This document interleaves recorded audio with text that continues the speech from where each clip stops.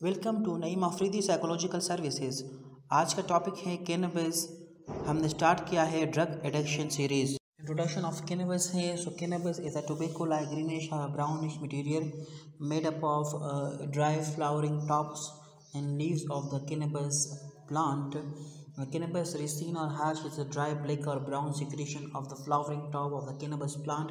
Cannabis plant का जो flower होता है, उसके टॉप पर एक सिक्रेशन होता है, इसका कलर ब्लैक या ब्राउन होता है। उस सिक्रेशन को हम कहते हैं कैनबस रेसिन कहते हैं which is made into powder जिससे फिर बाद में पाउडर बनता है और into slips and cakes या उसको प्रेस करते हैं स्लिप्स या केक्स के ज़रिए उसको पाउडर फॉर्म में कन्वर्ट करते हैं।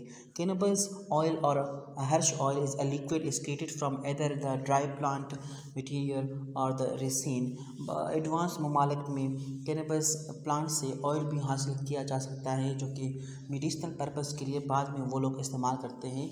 लेकिन नाइन्टी नाइन परसेंट लोग कैनबस को एज ए ड्रग इस्तेमाल करते हैं, जिसके ज़रिए बाद में उसके साइकोलॉजिकल और फ़िज़िकल नुकसान उसकी ज़िंदगी में आते हैं।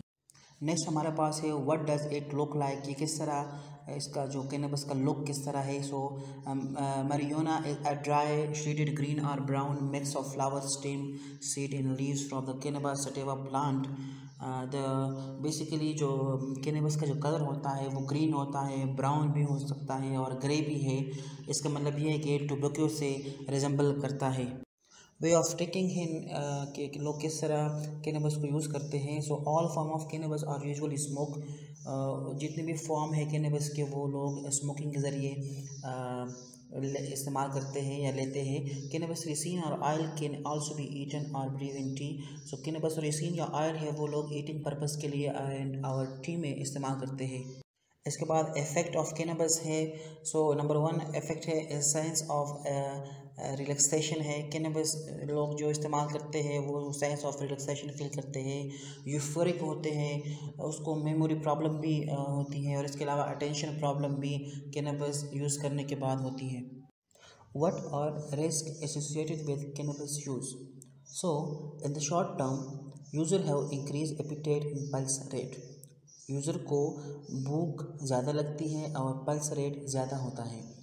User also have problem performing physical and intellectual task so इन लोगों को जिसमानी और इंटेलेक्चुअल मसले होते हैं। For example driving a car या थिंकिंग लॉजिकली इसके अलावा with large dose user perception of sound and colour may be sharp while their thinking become slow and confuse so वो थिंकिंग के लिहाज से वो कंफ्यूज होते हैं और साउंड और कलर भी अफेक्ट होती है कैनबस यूज़र की।